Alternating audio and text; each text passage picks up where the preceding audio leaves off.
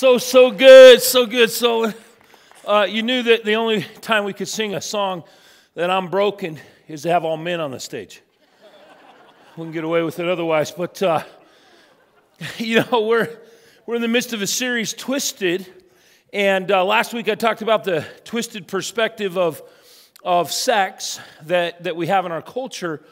Today I want to talk to you about the twisted perspective of sin. And some of you, maybe this is your first time, maybe it's your first time watching, and you're going, Great, just what I thought about these preachers. Don't sin. Uh, I wish I could command you not to do that. I wish you could command me not to sin. It would be so much easier. But, uh, but I actually want to talk about really what it means to have a clear perspective of the freedom that Christ has given us. And if you're watching online or you're a guest here, text me at 313131. Just type in the word guest, and I'll give you a call this week. I'd love to get a chance to talk to you. I'm sorry about last weekend. Did not get to call the guest. I'll be calling them this week. We had a, bunch of stuff going on, uh, kind of un, uh, uh, unexpected. And so I'll give you a buzz uh, this week. So just go ahead and text the word guest to 313131. For all of you who call Grace home, man, make sure you're looking at your bulletin or you get here a little bit early before the service and see the rundown, or you can go watch it on Facebook Live or live stream. There are just a variety of ways that you can stay connected here at Grace and need to because there is so much happening here and in the community, okay? And, uh, you know, maybe your, maybe your bracket is still going, right? You know, uh, Billy decided to sit in the front row today because he's got his Duke shirt on and my Tar Heels laid a really bad egg uh, the other day. But uh, if your team don't play defense today, they ain't going anywhere. I just want you to know that. Uh, the last two games haven't been good deep. So, uh, but but here, here's the deal. You know, we, we like to have fun. We enjoy what we do around here. We don't take ourselves too serious, but we do take what God has to say very serious. And um, when you talk about something, I, I put it on the sign. You see it there on the outline. Stop calling it a mistake. Stop calling it a mistake. You know, uh, this morning I got a call from someone. Oh, there's my granddaughter. Honey, don't do that to me. Look, she, everybody turn around. You can see her back there. Hi, Rain. Hi, baby. Oh, my gosh. So unfair. Bring her up here. So, uh, this morning I got a call from my son, uh, my oldest son, and, and just uh, was getting ready to actually hop in the shower here and get ready for the day and I slam my finger against the shower, cut it open. That's a mistake, okay? That's a human error. But a lot of times that's how we treat sin. We go, well, it's just a mistake. You know, I just accidentally slept with her even though she's not my wife. I just accidentally got a, my 22nd DUI. I just accidentally, you know, embezzled $300,000. And I don't mean to laugh, but this is a, an American problem. It's a huge problem in North America, it's a huge problem in the church. And, and since I'm a preacher, I get to make up words, okay? So you're, you're not a mistaker. And being a mistaker or calling yourself a mistaker will keep you in a prison, Christian. And for those of you who don't know Jesus as your personal Savior, I want you to know that He loves you. Uh, Jesus died for all of your sins. He paid for them 2,000 years ago. He rose again. You can have everlasting life by trusting in Him, but you'll still have the same struggle I have every day and everybody else has, and that is that sin is still present in our lives. You ever come to that place in your life where you realize how broken you are? You know, I'm listening to the lyrics of that song. I like that you're broken, broken like me. Maybe that makes me a fool. I like that you're lonely, lonely like me. Misery loves company. We're all broken. I still remember the first time I recognized the difference between sin and a mistake. When I was uh, around eight, eight and a half years old, we lived over on 44th and Yates in a little duplex. And uh, if you're familiar with North Denver, uh, there's alleys behind all the old houses. And so one day I, you know, told my mom I didn't feel good. I kind of fibbed a little bit. And, uh, okay, Ricky, you stay home. My little brother went to school. It's a beautiful spring day. About 45 minutes later, I was miraculously healed. And my mom was a little bit of a pushover back then. Yes, you were. And I'm like, You know, mom, I feel better. Can I go outside? Oh, I don't think, yeah, mom, just a little bit. Okay. So I went outside. Here's the problem when you fake that you're sick when you're a kid, you're so excited to miss school, but you realize all your friends are there. So, you know, you can't have any fun anyway. So I'm out in the alley and I'm, I'm picking up rocks and I'm throwing them at the pole, the light pole. And then I'm like, hmm, wonder if I can knock that light out. so I started throwing rocks at the light. And there was this guy that lived across the street. He had a 1938 coupe with a little window, you know, those old, you know, coupes. And, and I took the rock and I threw it as hard as I could. And it went over the light. And then all of a sudden I heard, Psh! And I sort of bought into the premise that if you don't see it, it didn't happen. So I just went straight back to the house. I'm like, Mom, I feel worse. Oh, I feel terrible. She's like, okay, you go back to bed. I knew you were sick. Lay down, you know. I was so premeditated in my sin, I faked it all day. About 4.30, 5 o'clock, my dad comes home. He checks on me. He's being real sympathetic. About 6 o'clock, guy comes to the door. Uh, yeah, your son was out in the alley throwing rocks. My dad's like, no, he was in bed. He's been sick all day. No, he was in the alley. People saw him throwing rocks. Dad's like, Ricky, come here. Get up. It's like, were, were you out in the alley? And apparently, my mom in eight hours had forgotten that I went out for a brief spell. I'm like, no, no. Guy's like, he, I, he broke my window. Dad's like, no, don't call my son a liar. Shuts the door. That was it. That's my recollection, right?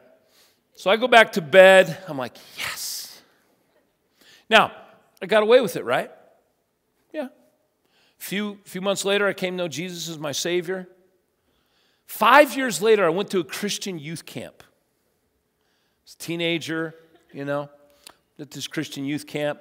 And the, the speaker starts talking about, you know, if you have sin in your life as a Christian, it's unconfessed, you haven't, you haven't really let it out, it keeps you in a prison. And he says, Is there anything you feel guilty about? I'm like, mm, Yeah. And I started thinking, okay, I'm going to confess this. God, I did it. He's like, yeah, I know. Confession means to say it is so. All right, you're just admitting what he already knows. And then I went, I got to tell my mom. Now, you forget kid years compared to adult years are very different, like dog years. Like kid years last seven years, adult years when you're over 30 last like two weeks. So for me to go to my mom and say, hey, mom, you remember way back five years ago? She's like, uh huh. When that window got broke way back there when I was a little kid, yeah, I did it. My mom's like, I can't believe you lied to me. So my mom and dad gave me the talk about lying. I got in trouble, suffered some consequences. I don't know, couple days grounded, whatever. Here's what happened I was free. I admitted it. I said it to my parents. And it's never been anything but a sermon illustration since then. No guilt, no prison. Now, you might think, preacher, I wish the worst thing I did was break a window at eight. Me too, by the way. All right? But here's the reality I came to a place in my life where I understood that sin needs to be called for what it is. It needs to be named. Quit saying it's a mistake and start saying it's sin. In the book of Romans, in the end of chapter 7 and all of chapter 8, Paul the Apostle, Paul the Apostle, I mean, arguably the most influential person in human history apart from Jesus Christ himself, writes the Bible under inspiration of the Holy Spirit. He writes it as a believer, as an inspired apostolic believer, and he talks about the struggle that you and I have. And midway through Romans 8, he talks about the effects of sin on our culture. I want you to look at this. You can look on your outline, turn your Bibles, you can look on the screen. Look here in Romans 8. Here's the twisted perspective. Against its will, all creation was subjected to God's curse. I want you to circle God's curse. That happened with the first man and the first woman when they chose poorly, and we've all been infected with the curse. But with eager hope, for we know that all creation has been groaning as in the pains of childbirth right up to the present time. I've never given birth to a child, but I've watched my wife deliver four. I've watched my daughter deliver three, my daughter in law two. I mean, I wasn't in there, but I watched them all the way up to that point. And let me tell you something. Number one, I'm thank God I'm a man. And number two, there is no kind of pain or struggle like that. And when God says that's how the earth is groaning, I get the picture. He says, And the Father who knows all the heart knows what spirit the Spirit is saying, for the Spirit pleads for us, believers, in harmony with God's own will. And we know that God causes everything to work together for the good of those who love God and are called according to the purpose, His purpose for them. Now, I want to make something perfectly clear. If you're living a life that is, as a Christian, unconfessed, you have, guys, we're going to get really theological for a minute because it's important. You have positional forgiveness. The moment that you believe Jesus Christ died on the cross for you and you trust in Him, the Bible says, Ephesians 1, you are seated in the heavenlies. Remember, God lives outside the realm of time and space. What happened, has happened, is happening, and will happen within God. Make sense? no, it doesn't. It's very difficult. All right? So here's the reality God lives outside the realm of time and space. So he already sees me as in Christ in heaven. That's called positional forgiveness. All right? The moment I believe, I receive it. And you don't keep believing and keep begging. You trust in Christ, you're born again. Now, there's practical forgiveness. It's just like in a relationship. My wife and I love each other. We're committed for life. We've been married almost 34 years, but we still have fights and we still have struggles and we still sin against each other. We have positional forgiveness. We've made a commitment to be together for life. But our practical forgiveness is we say we've sinned against each other. We ask for forgiveness. We admit it. Same is true with God. He'll never sin against you. He can't. It's against his nature. He's perfect. But you and I will sin. All right? So, practical forgiveness is that day to day recognition of the fact that I'm a sinner. Now, let's talk about this. Jesus came along, and all of the Pharisees and Sadducees, these religious hypocrites, were making everybody believe that spirituality was all about the outside, the external. They went to the temple. They gave lots of money. They dressed a certain way. Heck, they wore phylacteries on their head, a little box with the Pentateuch in it, the first five books of the Bible, rolled in a little scroll. They thought that made them holy. And they would tell everybody, You must be like us. And Jesus comes along and he says, uh, Let me make something perfectly clear. Your standard of holiness was if a man commits adultery, then, or a woman commits adultery, he should be able to divorce her. I say if you think lustfully about a person, you've committed adultery already. And, and by the way, if that hasn't happened, then he levels the playing ground here. Look at this. You're familiar with the command to the ancients do not murder? I'm telling you that anyone who is so much as angry with a brother or sister is guilty of murder. Carelessly call a brother idiot when they cut you off on the drive over to church and you just might find yourself hauled into court. Thoughtlessly yell, stupid at a sister, and you are on the brink of hellfire. The simple moral fact is that words kill. Jesus raised the level of sin to a degree where all of us are under the bar. None of us can say about either of these, lust or hate, that we haven't experienced them multiple times. All right? So, why did he do that? Because he was trying to point us, first of all, to himself, and secondly, to a life of contrition. I'm not talking about a life where you say, Oh, I'm pathetic, I'm horrible, I'm terrible. It's not this self deprecating false humility. It's an open honesty before God that says, Thank you, God, my perfect God, for loving me and forgiving me and giving me salvation. And you know what, Lord? Today, it wasn't a good day. I'm just, I'm just owning it. Things I said, things I did, I'm owning it. But he says you do that so you can have freedom. Now, I want to show you something real quick. Here's a twisted perspective we see in these scriptures. And I, I just kind of narrow them down to the three P's. I didn't list it that way, I just call it the twisted perspective. Here's the first one in our culture profane thoughts are just natural desires. Oh, everybody thinks that way. Now, I want to make something clear. Just because a thought comes in your mind doesn't mean it's sin. But dwelling on it is. You know you have a struggle. You know you have an addiction. You know you have an obsession. You know you have a fantasy you can't seem to shake. You don't dwell on it. We just say in our culture, oh, it's just normal, it's just natural. That's a lie. Second is a predisposed wrongs are just part of my maturation. Boy, do we tell kids that, especially boys. Oh, boys will be boys. Remember sitting with my 16 year old friend. Barry and I grew up in the same neighborhood. There were eight of us guys. We were all within like two and a half years of each other.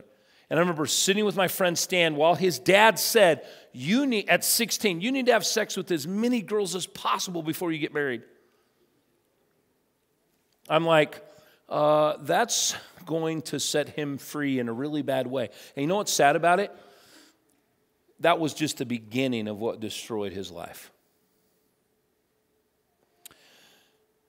Predisposed wrongs are not just part of maturation. Yes, it's true that, a, that according to neuroscience, a man's brain, a male brain, does not fully form until around the age of 24.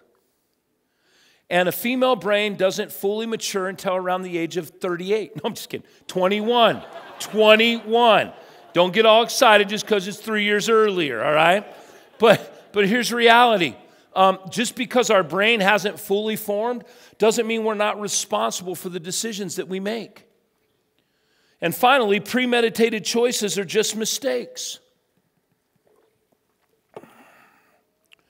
You know, I'd shared this in the last two services. I really debated whether or not I was going to share it in here, but you know, people don't just wake up one day and go, Oh, I'm going to be a serial killer. Oh, I'm going to wreck my family with this addiction. Oh, I'm going to, you know, find somebody that's not my spouse to have sex with. I, am going to go take money from my company. You don't wake up and do that. That's Hollywood, okay? It's not reality. Ted Bundy was the most prolific serial killer in history. And many of us who grew up the 60s and 70s and 80s remember the heinous crimes that he committed against women in Utah mostly in Washington and in Colorado. And Ted Bundy was a guy that fooled everybody. On the outside, he looked like an up and coming politician. He was a lawyer, uh, going to law school. He, was, uh, he had his psychology degree. I mean, he appeared on the outside to be as much together as you could possibly be. But on the inside, since he was 15, he'd been murdering girls.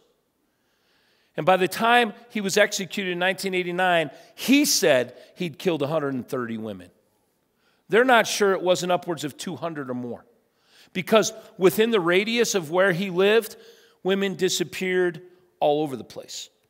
Now, here's the point. When he talked to Dr. James Dobson before he died, he said he had an obsession and an addiction to pornography. We know obviously that played into this. But here's what really happens. When he was 14, he killed a cat and tortured it, or tortured it and then killed it. Then he started entertaining the thoughts of the girl that lived four houses down who was 12. And once he got away with that, it just continued to snowball. You see, a thought that we dwell on, profane as it may be, becomes a desire. And a desire becomes an action. And an action becomes a habit. And a habit becomes a way of life. So by the time you get to that point where whatever it is has imprisoned you, you've gone through five phases to get there. It's critical that we understand that. And stop saying it's a mistake. It's not just a mistake. And until we say, as a believer, or whether you're a non believer, it's sin. And see, let me explain something. It's very easy in our culture. I mean, if you haven't noticed, we excuse everything now. It's everybody else's fault. It's the government's fault. It's the president. Man, President Trump, it's got to be his fault. He's definitely the person, right? It's Congress. It's this person. It's that person. It's my spouse. It's my kids. It's the economy. We are blamers and we are mistakers. And as long as you live there, you will be, and I'll show this at the end, the perpetual victim. And you'll never have victory You have to own it. You have to own it. For your marriage to be healthy, for your relationships to be healthy, for you to be healthy, for your finances to be healthy, you got to own it. And I want to show you how the Apostle Paul owned it, had victory in his life, and how you and I have the same opportunity right now. And in order to do this, we got to almost go back to where we went last week and start with a truth check. God says this. I want you to write this down. This is critical. I was made in God's perfect image. You were made in God's perfect image. You are not a product of chance. You are not an accident. In the weeks ahead, I'm going to talk about is Satan real? What is, you know, what is this world we live on really made up of? You know, is science uh, accurate in all of its assessments or theories? Is the Bible accurate? And, and let me say this uh, it's interesting how evolutionists believe that if you throw more time at something, you can explain it. When science itself says time is not our friend. More time doesn't make time. If I take this watch apart and I smash it into a million pieces and I throw it into space, it is not going to eventually find itself back together. That is not science. That's insanity. The other day, I read that the earth is now 14.4 billion years old. Apparently, 4.4 billion wasn't enough. Let me tell you something. You don't have enough time to prove to me that four gases in the universe came together, exploded, created this amazing blue planet with exactly 77% water with exactly the right oxygenation of trees, that tilted it on its axis, that spun it at the exact rate that if we were leaning any further toward the sun, we'd burn up, any further away, we'd freeze to death. There is no way you're going to convince me that happened by chance. I don't care how many words you use, how many doctorates you have, how many letters before or after your name. God created us. Look at this in Genesis 1. God spoke, Let us make human beings in our image, make them reflecting our nature, so they can be responsible for the fish in the sea, the birds in the air, the cattle, and yes, earth itself, and every animal that moves on the face of the earth. God created human beings, He created them godlike. We're not gods, but we're like Him, reflecting God's nature. Circle that. He created them male and female. And by the way, did you notice how He said, Let us make man in our image? Our God is one God manifest in three persons God the Father, God the Son, and God the Holy Spirit. Write this down. Human nature is not the same as the sin nature. Had somebody come up to me. Um, she was actually my teacher in high school, goes to church here. She came up to me and said, Can you help me with a few more verses and passages on, on this? And so we talked about it. Here's what we need to understand our human nature, our behaviors that have not been programmed, obviously, by worldview and culture, our tastes and likes and dislikes and sense of humor and quirky uh, innate abilities, those are not sinful. Those were created in the image of God. Our sin nature is not our human nature. Our sin nature is the disease that infected our human nature. Does that make sense? Think of it this way. You know, whatever I put in this glass is for me to know and you to find out. it's water, okay? Um, whatever's in here takes on the shape of this cup, all right? What I put in here is what this cup holds. In the same way, what I put in my body, what I put in my soul, is what makes me who I am. If we think of our body, just think of us right now as the human nature created in the image of God. We now have been infected with something called the sin nature. The Apostle Paul understood that. And as an apostle, as a Christian, he says something. And I got to tell you this. This is. Uh, this is extraordinary. Years ago, 35 years ago, uh, 36 years ago, I met a guy, uh, a man in our church. He was one of the elders. He was very involved. He had a daughter that went to school with me. Her name was Shelly Bartholomew. And um, his, he, he had adopted her because her dad died at four. And Bill Ferguson had adopted her and raised her as his own. And Bill was this guy I just really loved. He was funny, kind of charming guy, rough and gruff, cowboy type. I used to work at, on, during certain summers. I'd go do odd jobs for him and Jean and uh, loved their daughter. Woo. And uh, so I'd go over there anytime I could. And, uh, and then I started dating her. And all of a sudden, he turned into the devil. Now, I get it. I am a father of two daughters and three granddaughters. There's nobody good enough for your daughter. There's definitely nobody good enough for your granddaughter. But I didn't understand that then. So I start dating Shelly. Uh, he didn't like me. Then I ask her to marry, m- marry me. Then he really doesn't like me. Then I marry her. He can't stand me.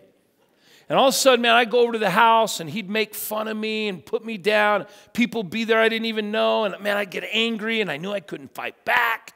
And I'd get in the car and drive home, say, man, your dad's a jerk. I'm never going back there. My wife would say, You're such a baby. Suck it up, buttercup. And I'd go back and it happened again. All right?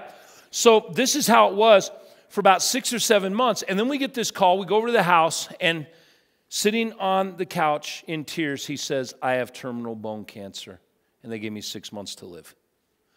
And my wife is devastated. And of course, I'm devastated for her. I'm obviously sad for him, but there was no heart connection. Well, I'll just jump ahead. Some of you know the story. It's in my book, obviously, but he, he lived a lot longer than six months. He lived five and a half years. And he lived pretty normal, in a lot of pain, but he, you'd never know it. Tough guy. And during that time, we, we got closer and closer. We eventually moved in. We were going to Bible college. And one day I come home from college and he's reading this passage. See, he was a Christian, he knew he was going to heaven, but he still hadn't really allowed God to take control of his life. He still called everything a mistake until this passage. Look at this in Romans 7.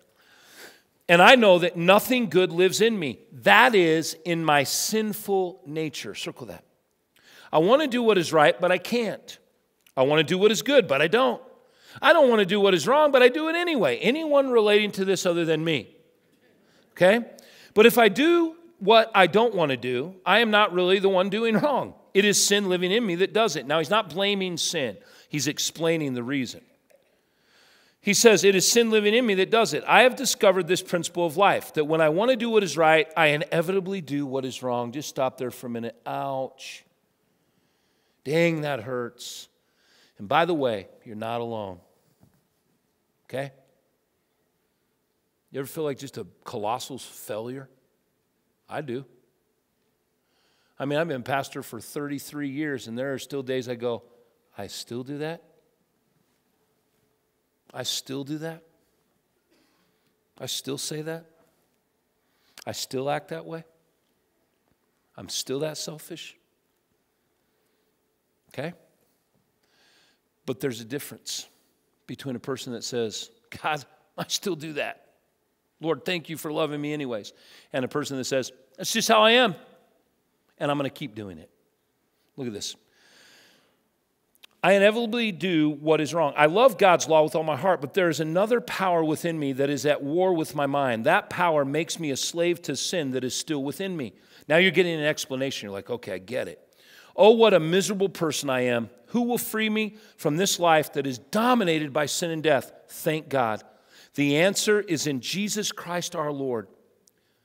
I love that. That's underlined, circled in my Bible, and my name is written above it. So you see how it is? In my mind, I really want to obey God's law. But because of my sinful nature, I'm a slave to sin. So now there is no, nope, nope, nope. We're going to read this out loud together. Everybody home, everybody here. Here we go. Start with so. Ready? So now there is no condemnation for those who belong to Christ Jesus. There's no condemnation that you're a sinner. The condemnation was thrust on Jesus 2,000 years ago. All of our sin and death on him 2,000 years ago. No condemnation. So, what's he saying? It sucks sometimes to be a sinner and still struggle with it. It does. So own it. Own it. Don't say I'm a mistake or say I'm a sinner. Guys, if you have spent your whole life, and by the way, every person that's not a Christian is sinful and depraved. We'll look at that in a minute. You say, wait, I know a lot of lost people. They're not Christians. They're not religious. They're better than most of the Christians I know. No, they're not, because everything they do, they do for self. Until God is the center of your life and Jesus is your Savior, you and I are lost in our sin. The moment we come to Christ, now we have a choice. So, if every day I'm a sinner, this is the body of death I'm wrapped in, and this is my sin nature. Let's say I just work out my right arm every day 20 pounds for a month, 40 pounds for a month, 60 pounds, 80 pounds, 120 pounds. Man, this, this sin nature is strong. I want something, and even if it's wrong, I go get it. That's my sin nature. Now I come to know Jesus as my personal Savior. I've got a new nature. Jesus lives in me in the Holy Spirit. The new nature is supernaturally powerful. The Holy Spirit lives in me. The power that raised Jesus from the dead created the universe. I mean, that's power. But I got to learn how to yield to it. And I got to learn how to allow it to control my life. Him, not it. Him, excuse me. So this is my new nature. Here's what you have to do got to build habits in your life. That's why we go to church. That's why we get involved and serve. That's why we get in a small group. We read the Bible. We pray. Not, to, not, not, not because doing that action makes you holy, because it teaches you how to live holy. If I'm not living it, it doesn't matter how much I read the Bible. Okay? So now I'm building this arm, this new nature. But this one's strong. When I'm a new Christian, you know, about six months, the honeymoon's like, oh, I'm going to be there every time the doors are open. Then about the seventh month, it's like, it's really nice out today. And the new the sin nature is like, yeah, heck yeah, let's go do this and let's go do that. And it beats down your new nature. Your new nature like, okay, I'm gonna stay. It, it, that's true. We know it, right? This isn't rocket science, okay? So you got to remember, you were created in the image of God, but you have a sin nature. But there's no condemnation. So write this down. My sin nature is impossible to escape. Until I get to heaven, my sin nature has me in its grasp. Now that doesn't mean I have to allow it to control me. Look at Romans 3:23.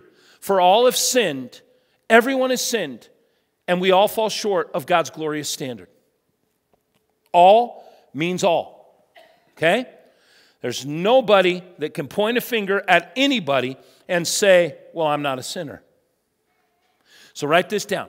Depravity isn't a choice, but a depraved life is.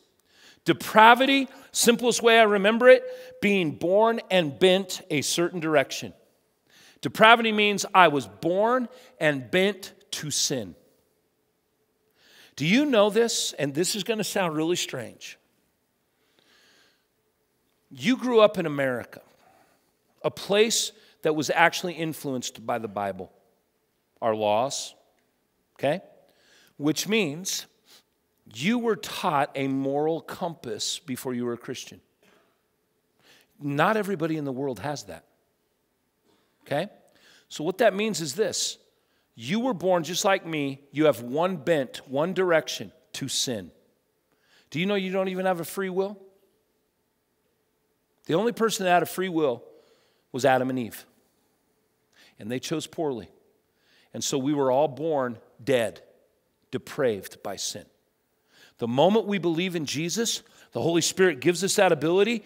Now we have the ability supernaturally to say, Yes, I'm depraved, but I don't have to live a depraved life. Look at Romans 3:24.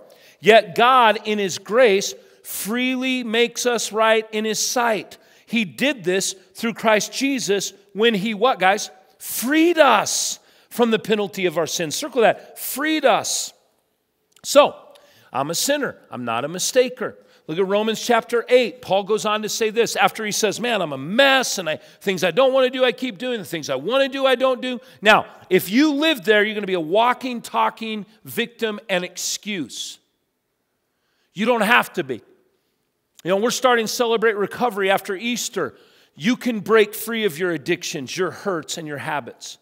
It is not a viable excuse to say, well, I'm a Christian, I know I'm going to heaven, and this is just who I am, I'm going to keep doing it.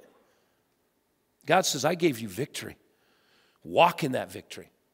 Look at Romans 8. It's not easy, but you can do it. Look at this.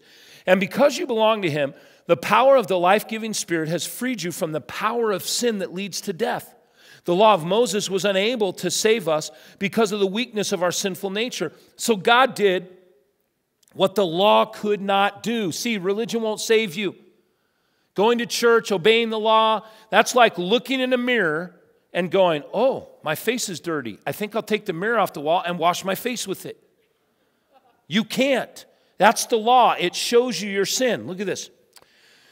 I'm deep, right? I mean, super intelligent stuff coming out of my mouth, all right? So here we go. So God did this. He, said, he sent his own son in a body like the bodies we sinners have. And in that body, God declared an end to sin's control over us by giving his son as a sacrifice for our sins. He did this so that the just requirements of the law would be fully satisfied for us. Wow, that's, that's, that's deep. Who no longer follow our sinful nature, but instead follow the Spirit. Those who are dominated by the sinful nature think about sinful things, but those who are controlled by the Holy Spirit think about things that please the Spirit. Now, let me just tell you there'll never be a point in your life, this side of eternity, that you're always controlled by the Spirit and never sin. First John talks about if we walk in the light, we, we do what's right. If we walk in the darkness, we do what's wrong. And people go, oh, well, see, if you, you have to live a godly life or you won't go to heaven. If that's true, we're all going to hell because it says you got to be perfect. What it's talking about is you have a new nature. It is perfect before God. But you got to battle every day with the sin nature and the three enemies the flesh, the world, and the devil. Write this down. My only hope was taking Jesus' perfect nature as my own. That's the only hope. The mistaker concept wants religion. Do you know why people run after religion? Because I have to do something. You ever, you ever talk to people who aren't Christians and they're like the most religious people you know?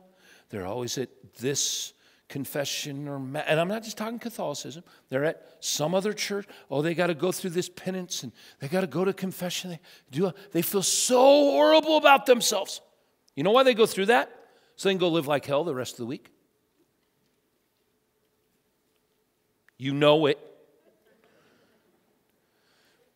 Religion won't save you, it won't set you free. My only hope is Jesus' nature. Look at Romans 8. But you are not controlled by your sinful nature. You are controlled by the Spirit if you have the Spirit of God living in you. And remember that those who do not have the Spirit of Christ living in them do not belong to Him at all. If you want to know for sure whether or not you're a Christian, then ask this question Does the Spirit of God live in me? You're going, Well, how do I know that? I'll tell you in a minute. Look at this. And Christ lives within you. So even though your body will die because of sin, the Spirit gives you life because you've been made right with God. The Spirit of God, who raised Jesus from the dead, lives in you. And just as God raised Christ Jesus from the dead, He will give life to your mortal bodies by the same Spirit living within you. Write this down salvation is a birth, but a changed life is a choice.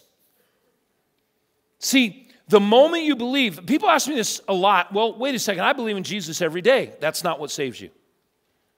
But I, I, you know, I'm having faith every day. That's not what saves you. You have to come to a place in your life where you come to the end of you. And at the end of you, you say, I'm a sinner. And I realize there's nothing I can do to save myself. Guys, I don't just say these things at the end of a message because, you know, it's Rick's little speech. It's actually what the Bible says we must do. I, I'm a sinner. There's nothing I can do to save myself. I am at the end of me, Jesus. I believe you died for me, that you were buried and you rose again. And I trust in what you did 2,000 years ago to save me. In that moment, you are born again. That moment is your moment of salvation. That's why I tell people write it down, tell somebody. Some of you say, I can't remember the exact moment. Do you remember that time period in your life where you came to the end of you and put your trust in Jesus? If not, you need Jesus. Because if you think it's a process, you missed it. It is a birth. Now, once I've been born again, guess what? Now I have a new nature. And look at Galatians 2:20. My old self has been, oh, wait, back up. Look at Romans 8 real quick. So you have not received the spirit that makes you fearful slaves. Instead, you have received God's spirit when he adopted you as his own children. Now we call him daddy. That's what Abba means. Daddy, Father. For his spirit joins with our spirit to affirm that we are God's children. And since we are his children, we are his heirs. All of the riches of all of heaven are at your fingertip. You're struggling financially? God says, I can provide. You're hurting physically? God says, I can heal. Your relationships are broken? God says, I can bring them back from the dead. He is the one who says, All of my riches are at your fingertip. And that's what he's talking about. When I go up to a Christian, and I say, How are you doing? And they say, Well, under the circumstances. I want to grab them and go, What the heck are you doing under the circumstances? You're a Christian. You don't have to live under the circumstances. You can cry about it and cry and, and, and, and, talk to somebody and pray, but you, my friend, are victorious over the circumstances. Galatians 2:20 My old self has been crucified with Christ. So when Jesus died 2000 years ago, you were there. When he was dying on the cross, he had your face in his mind. It is no longer I who live, but Christ lives in me. So I live in his earthly body by trusting in the Son of God who loved me and gave himself for me. And by the way, the next verse in that chapter, the last verse of chapter 2, is one of the most powerful verses in Scripture. I do not set aside the grace of God. If righteousness could be attained by obedience to the law, Christ died in vain. I can't attain it, I must receive it. The moment I do that, I am now a new creation. I have a new nature. I can feed this new nature. I can work this new nature out, and I can starve this sinful nature. Now, here's the news. I hate to break it to you. It'll never die completely till you get to heaven. Those are those days where you go, I'm a preacher and I said that. I'm a Christian and I did that. Okay? It's not a mistake. It's a sin. That's why 1 John 1 9 is written to Christians, not the lost. If we confess our sins, He's faithful and just to forgive us. That is practical forgiveness and cleanse us from all unrighteousness. Guys, let's end with this. I can have victory over sin and guilt. That's the truth. You can have victory over sin and guilt today. Jesus did not just die for your sin, He died for the guilt of your sin. I'm in that room with my father in law and I'm, I'm explaining Romans 7. He's sitting there going, Rick, I've never seen this. You know, he's a guy that came to know Christ 14 years before. Man, he had the mouth of a trucker. He had a crazy lifestyle. And there were things in his life he just had not yielded to the Spirit of God, just like the rest of us, but some of them were pretty glaring. And here he was, literally near death. And I sat there and I explained it, and, and we prayed, and it was amazing. I got up to leave, and he always called me boy. He never even called me my name. Got to the door, hey, boy. Yeah. He looks at me and goes, son, I love you. I said, Bill, I love you. And our relationship for the next two and a half years went to a completely different place. When he died, June 25th, 1990, I went in that room, that hospital room, took my Bible, my wife, my friend Greg, my mother in law, and I said, Bill, are you ready to die? And he said, I'm ready. And I remember thinking, I'm not afraid of death, but I'm not ready right now. How do you get ready? How do you honestly come to the end of you and go, I'm ready? Okay? What it was is not only did he know Jesus had saved him from hell, he knew now that everybody sins. And that a life of confession and contrition to God is freedom. Do you know what he did the next day? They got on the phone and he called friends and family members and relatives who couldn't get there. And he said, Listen, this is Bill, your brother Bill, your uncle Bill, your cousin Bill. You're not going to make it. I should be dead by tonight, maybe tomorrow. This is a room full of people in there. They're just visiting. We're all hanging out. And he goes, But if you want to see me again, you need to believe Jesus Christ died on the cross for your sins and trust in him. Hey, got to go. He did that for about two hours. Why? Because he was sure of his salvation, because he knew God loves us as sinners. Guys, he was victorious, not because he never sinned again, because sin no longer had control over him. There is a difference between saying, oh, it's a mistake, but I'm going to keep doing it, and it's a sin, and God will want victory over it. Look at Romans 8. What shall we say? You ever get discouraged? Just read this. What shall we say about such wonderful things as these? If God is for us, who can ever be against us? Can anything ever separate us from Christ's love? The answer is no. And I'm convinced that nothing can ever separate us from God's love, neither death nor life, neither angels nor demons, neither our fears for today or our worries about tomorrow, not even the powers of hell can separate us from God's love. No power in the sky above or in the earth below. Indeed, nothing in all creation will ever be able to separate us from the love of God that is revealed in Christ Jesus our Lord. Amen? You are a victorious survivor and you're a victorious sinner. Listen, transformed believers live by faith, not by sight. Man, if I keep looking in the mirror, and looking at the stuff I do, it's scary. But I keep looking at Jesus.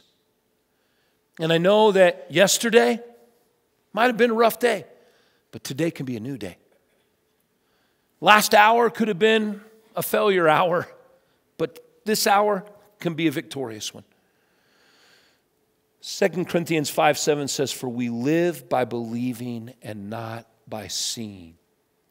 You keep your eyes on this world, you keep your eyes on your addiction, keep your eyes on your illness, keep your eyes on your financial bank, you know, your, your bank account, you're going to be a discouraged person. And God says, Why are you looking over there? You remember when Peter was walking on the water for a few steps? What happened? He took his eyes off of Jesus and he put his eyes on the storm. He prayed the shortest prayer Lord, help! And Jesus did. Mistakes are con- mistakers are constant victims of blame, but sinners are constant victors by belief. You're an overcomer. And you're not an overcomer by what you do, you're an overcomer by why you do what you do. Look at 1 John 5 and we'll close in prayer. For everyone born of God overcomes the world. This is the victory that has overcome the world, even our faith. Who is it that overcomes the world? Only the one who believes that Jesus is the Son of God. Let me have you bow your heads and close your eyes for a minute. Maybe you're here and you hear all this talk about sin. Maybe you're thinking right now that you're not sure if you were to die whether or not you'd go to heaven. My friend, you can leave here positive. And it's not by anything you've done, it's by everything Jesus did. Right where you sit, you can just talk to God in your mind. Say something like this God, I'm a sinner. I've done things wrong. But today, this last day of March, I believe Jesus Christ died for me. I believe he's risen. And right now, I trust in Him as my only hope of going to heaven. Friend, in the very moment you believe, you receive salvation. You're going to heaven. And I want to pray for you. I'm not going to have you stand up and come forward. I just want you in a moment. I'm going to have you raise your hand and put it right back down. That just tells me you got it. So if you're saying, Today, I believe Jesus Christ died for me, and today I trust in Him and receive that free gift, would you slip your hand up and put it right back down? Bless you. God bless you. Many hands. God bless you guys. Welcome to the family of God. I'm going to tell you this. I, I meant to say it in the message heads are bowed, eyes are closed. Here's how you know the Holy Spirit lives in you. Because you now understand the things that are sin that before you thought were okay. Because you have a clearer understanding of what's wrong and what's right. That's the greatest litmus test you want to know if you're a Christian? Have you put your trust in Jesus? You want to know the Holy Spirit lives in you? It's not some bizarre behavior. It's knowing that, oh, you know what? I used to do that, and it's wrong. And now I see that. Lord, give me strength to say no to it today. If you put your trust in Christ, I'd love to talk to you. You can text me the word believe to 313131. Just text the word believe to 313131. I'll give you a call this week. Love to welcome you to the family of God and answer any questions. Christians, we are sinners saved by grace. And the sooner we start being honest and walking that way, the greater the freedom will be. Father, we love you. We praise you. We thank you. We worship you now, Lord. In Jesus' name, amen.